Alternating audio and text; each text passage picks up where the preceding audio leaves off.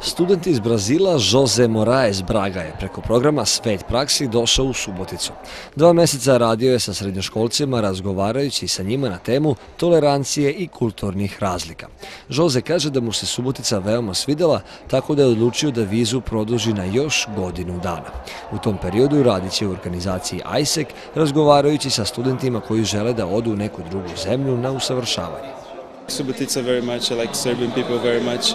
They're all uh, very open and, and very warm, and, and they're a totally there's a totally different uh, view um, that I had before. I, I didn't think that uh, I was going to make so many friends, and now I have a lot of new friends and a lot of new people that uh, I like them very much.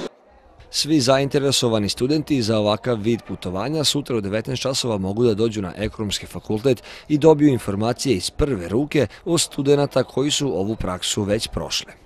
Imate mogućnost da e, steknete neka nova znanja i veštine radeći na projektu, ali samim tim upoznate ljude iz e, celog sveta, jer na te projekte dolaze e, studenti iz više različitih zemalja. Tako, na primjer, gde sam ja bila, dođu studenti iz 10-15 zemalja, vi se svi družite, imate priliku da upoznate različite kulture, nove ljude, ostanete i kasnije e, sa njima u kontaktu. E, isto tako imate mogućnost da obiđete tu zemlju u koju idete i kao što sam rekla, znači da se steknu, usavrši znanje engleskog jezika i bilo koje druge veštine, što je jako dobro za CV.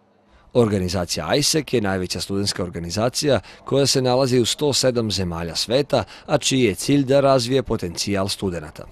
Članovi organizacije imaju priliku da učestvuju u različitim projektima sa različitim temama, a ono što je možda i najpopularnije jeste odlazak u inostranstvo gde se dodatno usavršavaju jezici.